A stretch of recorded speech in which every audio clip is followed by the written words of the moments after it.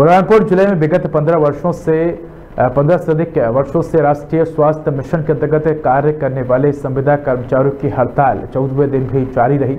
हड़ताल के चौदहवें दिन संविदा स्वास्थ्य कर्मियों ने हड़ताल स्थल पर ही दाल और चावल की खिचड़ी बनाकर सभी को खिलाई और संघ के सदस्य संजू ने बताया कि आधे वेतन में संविदा कर्मचारियों की केवल दाल, चावल की खिचड़ी ही पक सकती है। हम सभी खिचड़ी खाने को मजबूर हैं। दिन रात काम करने के बाद अच्छा खाने की इच्छा होने के बावजूद कम वेतन में मनपसंद खाना नहीं बना पाते हैं।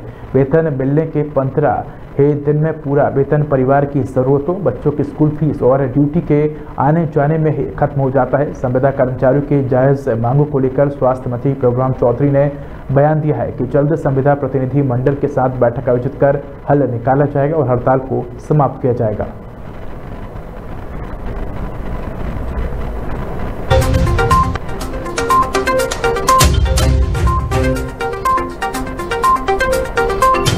संविदाओं की खिचड़ी बनाकर और हमारे उसको प्रदर्शित किया है, तब भी मामा के कानों तक हमारी आवाज़ें नहीं जा पा रही है। संविदा हड़ताल का चौदवा दिन है और आज विरोध स्वरूप हम लोग खिचड़ी बना रहे हैं। जैसा कि सभी साथी हमारे जानते हैं कि हमारे सभी संविदा साथी जो है लगभग लगभग 50 परसेंट वेतन पर अपना काम कर रहे हैं। वो 50 परसेंट वेतन के साथ में इस महँगाई के जमाने में अपना भरण पोषण करना, अपने परिवार का भरण पोषण करना कितना मुश्किल होता है ये हम समझाने की कोशिश कर रहे हैं। कि हम दाल, रोटी, सब्ज़ी नहीं खाते हुए सिर्फ़ खिचड़ी का सेवन कर रहे हैं। हमारी हड़ताल को पंद्रह दिन हो चुके हैं और विगत पंद्रह दिनों से हम लोग यहाँ पर हड़ताल में बैठे हुए हैं और हर दिन की हम लोगों की गतिविधियाँ अलग अलग है। आज हम लोगों ने संविदा खिचड़ी बनाया क्योंकि मध्य प्रदेश सरकार हमारी एक भी मांगे नहीं सुन रही है और इतने कम वेतन में हम ठीक से गुजारा नहीं कर पा रहे इसलिए आज संविदा खिचड़ी के माध्यम से संदेश देना चाह रहे हैं मध्य प्रदेश सरकार को कि जल्दी से जल्दी हमको नियमित करें ताकि हम अपने बाल बच्चों को भरपेट भोजन करा सकें।